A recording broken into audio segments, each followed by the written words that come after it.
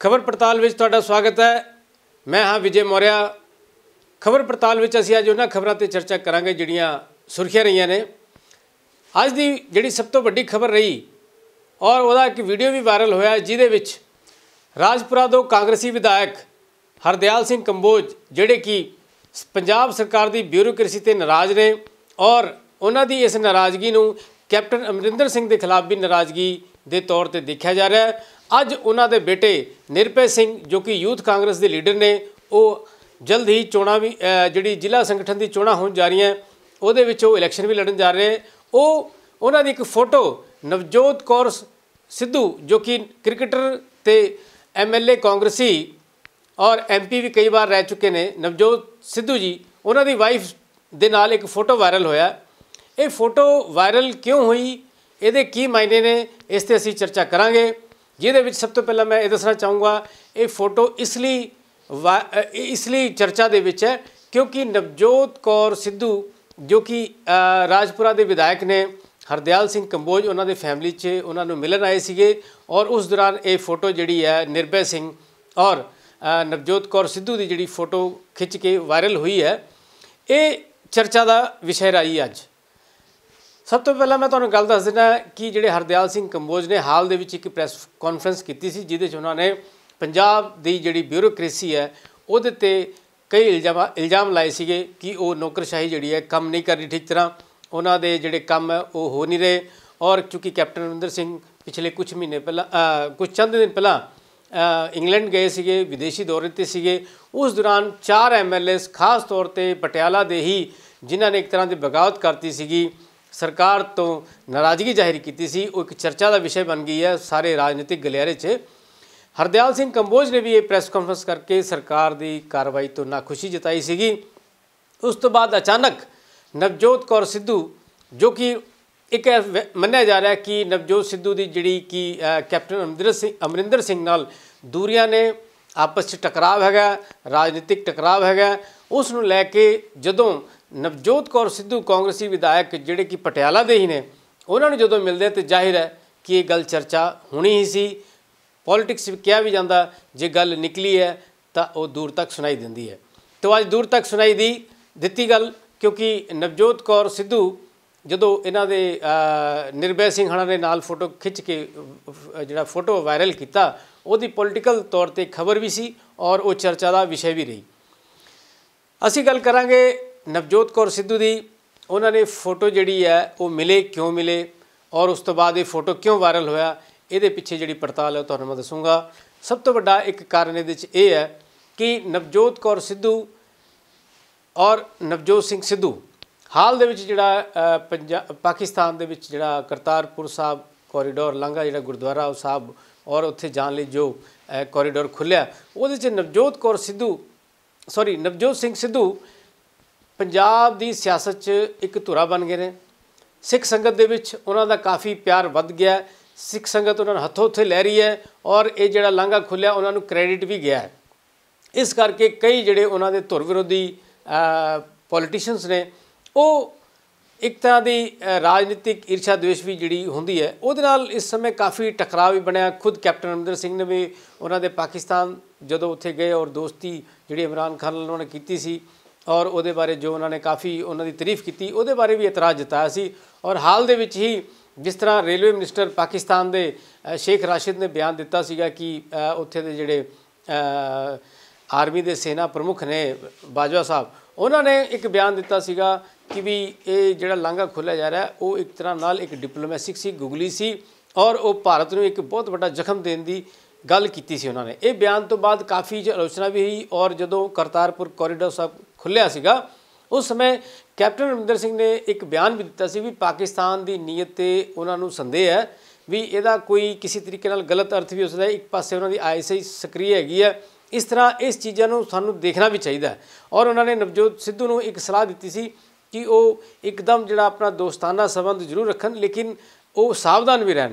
ਜਿਹੜਾ ਹੁਣ ਇਹ ਰੇਲਵੇ ਮਿਨਿਸਟਰ ਦਾ ਪਾਕਿਸਤਾਨ ਦਾ ਜਦੋਂ ਬਿਆਨ ਆਇਆ, ਉਸ ਤੋਂ ਬਾਅਦ ਕੈਪਟਨ ਅਮਰਿੰਦਰ ਸਿੰਘ ਨੂੰ ਵੀ ਕਿਉਂਕਿ ਉਸ ਸਮੇਂ ਕੈਪਟਨ ਅਮਰਿੰਦਰ ਸਿੰਘ ਦੀ ਆਲੋਚਨਾ ਹੋਈ ਸੀਗੀ ਕਿ ਉਹ ਇਸ ਮੌਕੇ ਤੇ ਤਾਂ ਦੀ ਕਿਉਂ ਗੱਲਾਂ ਕਰ ਰਹੇ ਲੇਕਿਨ ਜਿੱਦਾਂ ਹੀ ਉੱਥੇ ਦੇ ਰੇਲਵੇ ਮਿਨਿਸਟਰ ਨੇ ਇਹ ਬਿਆਨ ਦਿੱਤਾ, ਜਿਹੜਾ ਦੋ ਦਿਨਾਂ ਤੋਂ ਚਰਚਾ 'ਚ ਹੈ, ਉਸ ਤੋਂ ਬਾਅਦ ਕੈਪਟਨ ਅਮਰਿੰਦਰ ਸਿੰਘ ਦੀ ਗੱਲ ਸਹੀ ਹੋ ਗਈ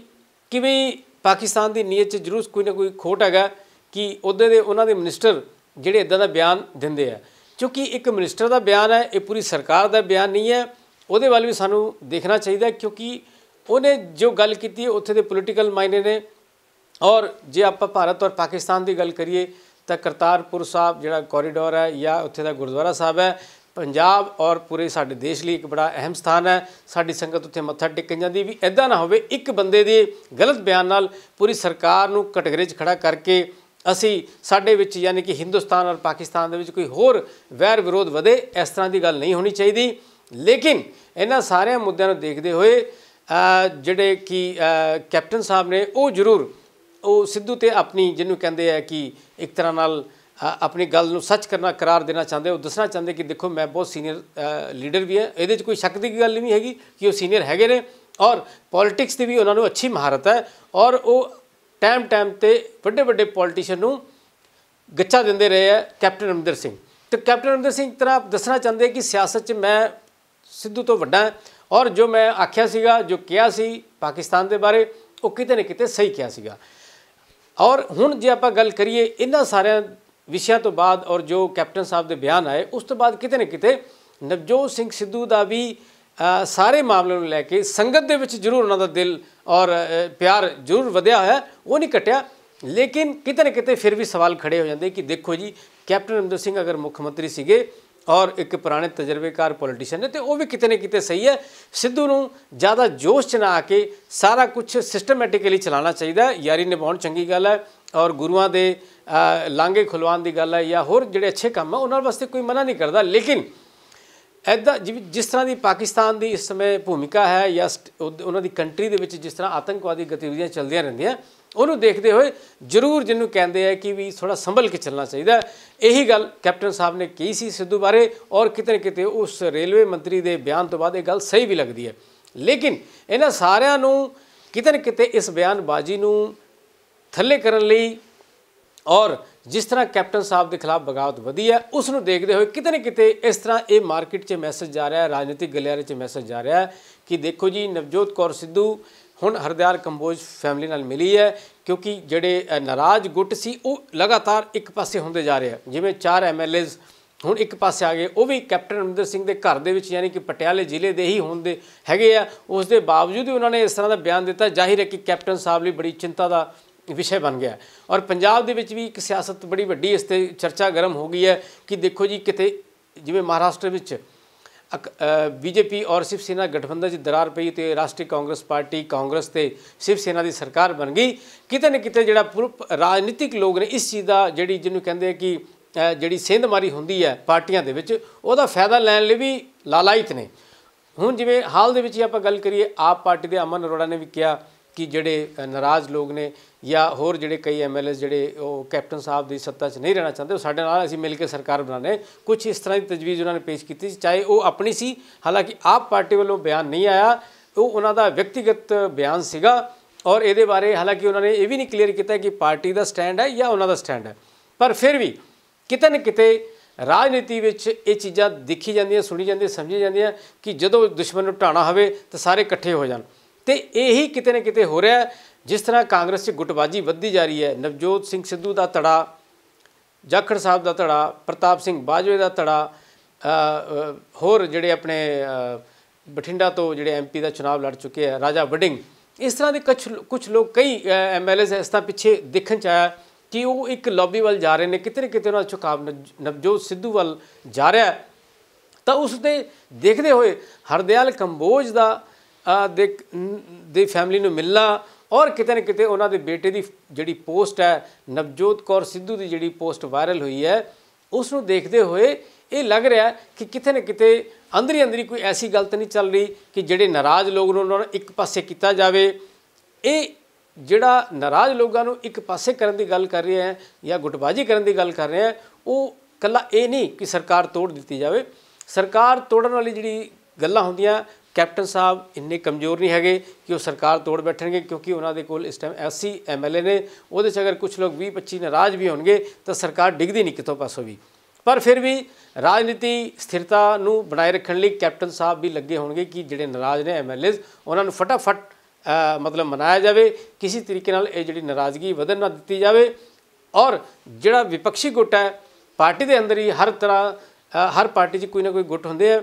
ਅਗਰ ਇੱਥੇ ਨਵਜੋਤ ਸਿੱਧੂ ਕੋਈ ਗੁੱਟਬਾਜੀ ਕਰ ਰਹੇ ਹੈ, ਮੈਂ ਇਹ ਨਹੀਂ ਕਹਿ ਰਿਹਾ ਉਹ ਕਰ ਰਹੇ ਨੇ, ਪਰ ਇੱਥੋਂ ਕਈ ਗੱਲਾਂ ਲੱਗਣ ਲੱਗ ਪੈਂਦੀਆਂ, ਰਾਜਨੀਤੀ ਵਿੱਚ ਹਰ ਗੱਲ ਦਾ ਮਾਇਨੇ ਦੇਖੇ ਜਾਂਦੇ ਆ।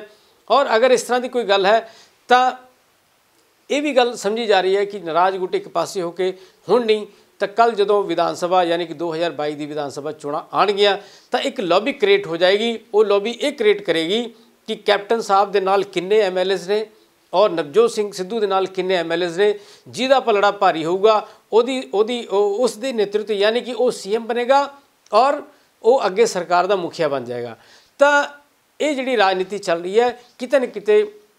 ਆਪਣੇ ਜਿਹਨੂੰ ਕਹਿੰਦੇ ਕਿ ਇੱਕ ਗੁੱਟ ਵੱਡਾ ਕਰਨ ਦੀ ਗੱਲ ਚੱਲ ਰਹੀ ਹੈ, ਕਿਤੇ ਨਾ ਕਿਤੇ ਆਉਣ ਵਾਲੇ ਟਾਈਮ ਲਈ ਜਾਂ ਫਿਲਹਾਲ ਹਜੇ ਸਰਕਾਰ ਦੇ ਲਗਭਗ ਡੇਢ ਪੌਣੇ 2 ਸਾਲ ਪਏ ਨੇ, ਉਹਦੇ ਵਿੱਚ ਕੋਈ ਇਸ ਤਰ੍ਹਾਂ ਦੀ ਕੋਈ ਗੱਲ ਆ ਜਾਏ, ਕਿਉਂਕਿ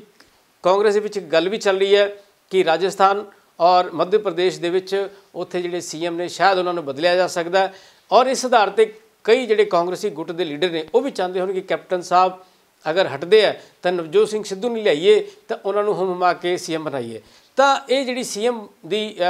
ਪੋਸਟ ਹੈ ਜਾਂ ਕਹਿ ਲਓ ਕੁਰਸੀ ਹੈ, ਬੜੀ ਅਹਿਮ ਹੁੰਦੀ ਹੈ। ਸਟੇਟ ਦਾ ਮੁਖੀਆ ਹੁੰਦਾ ਹੈ ਸੀਐਮ। ਤਾਂ ਇਸ ਦੇ ਨਜ਼ਰੀਏ ਨਾਲ ਹਰ ਕੋਈ ਜਿਹੜਾ ਪਾਰਟੀ ਦੇ ਵਿੱਚ ਵੱਡੇ ਲੀਡਰਸ ਹੁੰਦੇ ਉਹਨਾਂ ਦੇ ਕਿਤੇ ਨਾ ਕਿਤੇ ਚਾਹ ਹੁੰਦੀ ਹੈ ਕਿ ਉਹ ਸੀਐਮ ਬਣਨ।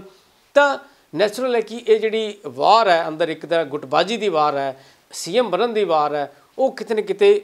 ਇਹਨਾਂ ਗੱਲਾਂ ਤੋਂ ਜ਼ਾਹਿਰ ਹੁੰਦਾ ਹੈ ਕਿ ਪਾਰਟੀ ਦੇ ਵਿੱਚ ਸਭ ਕੁਝ ਠੀਕ ਨਹੀਂ ਹੈ। ਪਾਰਟੀ ਨੂੰ ਠੀਕ ਕਰਨ ਦੀ ਲੋੜ ਹੈ। ਇਹਦੇ ਲਈ ਚਾਹੇ ਸੋਨੀਆ, ਸੋਨ ਸੁਨੀਲ ਜਾਖੜ ਪੰਜਾਬ ਪ੍ਰਦੇਸ਼ ਕਾਂਗਰਸ ਦੇ ਜਿਹੜੇ ਅਧਿਕਸ਼ ਨੇ ਜਾਂ ਸੀਐਮ ਕੈਪਟਨ ਅਮਰਿੰਦਰ ਸਿੰਘ ਨੂੰ ਹੀ ਅੱਗੇ ਆਣਾ ਪੈਣਾ ਕਿ ਇਹ ਧੜੇਬੰਦੀ ਨੂੰ ਲਗਾਮ ਲਗਾਈ ਜਾਵੇ, ਰੁਕਿਆ ਜਾਵੇ। ਨਹੀਂ ਤਾਂ ਕਿਤੇ ਨਾ ਕਿਤੇ ਐਦਾਂ ਨਾ ਹੋਵੇ ਕਿ ਜਿਸ ਤਰ੍ਹਾਂ 2002 ਦੀ ਪੰਜਾਬ ਦੀ ਕਾਂਗਰਸ ਸਰਕਾਰ ਦੇ ਵਿੱਚ ਹਰਨਾਮ ਦਾਸ ਜੌਰ ਰਜਿੰਦਰ ਕੌਰ ਪੱਠਲ ਉਹਨਾਂ ਨੇ ਬਗਾਵਤ ਕਰਤੀ। ਸਰਕਾਰ ਟੁੱਟਣ ਦੇ ਕਗਾਰ ਤੇ ਆ ਗਈ ਸੀਗੀ। ਕਿਤੇ ਇਦਾਂ ਹੀ ਪੰਜਾਬ 'ਚ ਇੱਕ ਵਾਰੀ ਦੁਬਾਰਾ ਸਥਿਤੀ ਦਾ ਸਾਹਮਣਾ ਕੈਪਟਨ ਨੂੰ ਨਾ ਕਰਨਾ ਪਵੇ, ਅਸੀਂ ਤਾਂ ਇਹੀ ਚਾਹਾਂਗੇ। ਪਰ ਫਿਲਹਾਲ ਰਾਜਨੀਤੀ ਔਰ ਰਾਜਨੀਤਿਕ ਲੋਕਾਂ ਨੂੰ ਰਾਜਨੀਤੀ ਕਰਨੀ ਪੈਂਦੀ ਹੈ। ਇਹ ਉਹਨਾਂ ਦੇ ਫਿਊਚਰ ਦਾ ਸਵਾਲ ਹੁੰਦਾ ਹੈ। ਇਹਦੇ ਵਿੱਚ ਨਵਜੋਤ ਸਿੱਧੂ ਕਿੰਨੇ ਕਾਮਯਾਬ ਹੁੰਦੇ ਆ ਤੇ ਕੈਪਟਨ ਅਮਰਿੰਦਰ ਸਿੰਘ ਆਪਣੀ ਸਰਕਾਰ ਔਰ ਸੱਤਾ ਔਰ ਮੁਖੀਆ ਕਦ ਤੱਕ ਬਣੇ ਰਹਿੰਦੇ ਆ, ਇਹ ਤਾਂ ਆਉਣ ਵਾਲਾ ਵਕਤ ਦੱਸੇਗਾ। ਲੇਕਿਨ ਇਹ ਜ਼ਰੂਰ ਹੈ ਕਿ ਕਾਂਗਰਸ ਦੇ ਵਿੱਚ ਸਭ ਕੁਝ ਠੀਕ ਨਹੀਂ ਚੱਲ ਰਿਹਾ। ਖਬਰ ਪੜਤਾਲ ਵਿੱਚ ਅੱਜ ਇੰਨਾ ਹੀ। ਫਿਲਹਾਲ ਅਸੀਂ ਕੱਲ ਫਿਰ ਨਵੀਂ ਖਬਰ ਤੇ ਚਰਚਾ ਕਰਾਂਗੇ। ਤਦ ਤੱਕ ਮੈਨੂੰ ਇਜਾਜ਼ਤ ਦਿਓ। ਧੰਨਵਾਦ।